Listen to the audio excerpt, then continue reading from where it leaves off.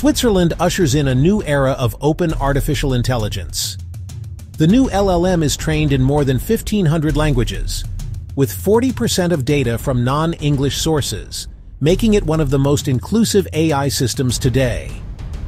ETH Zurich and EPFL have announced the launch of this groundbreaking model, developed on the Alps supercomputer at CSCS in Lugano, one of the world's most powerful AI systems, powered by 100% renewable energy. What sets this apart is complete openness. Source code, model weights, and training data will be publicly available under Apache 2.0 license. Available in 8 and 70 billion parameter versions for science, education, industry, part of the Swiss AI initiative with 800 plus researchers and 10 institutions.